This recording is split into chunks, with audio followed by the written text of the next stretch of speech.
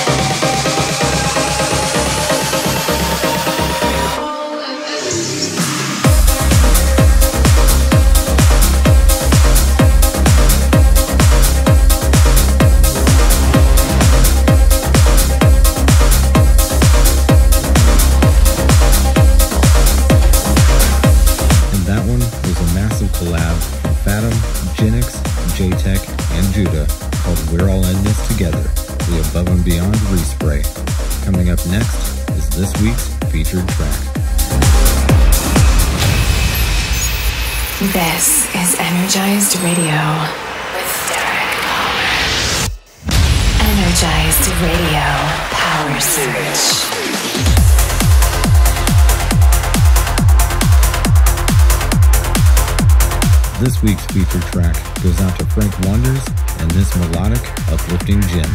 This one is called Projections.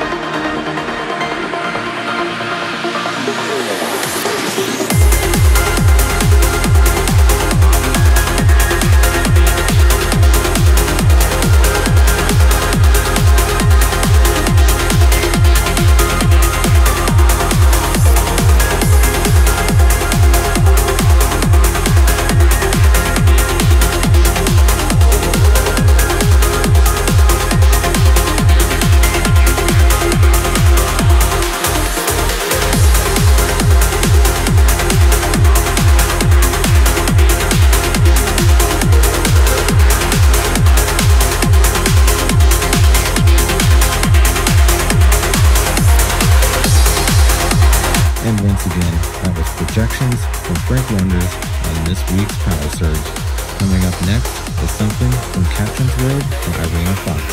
This is called Deep Inside.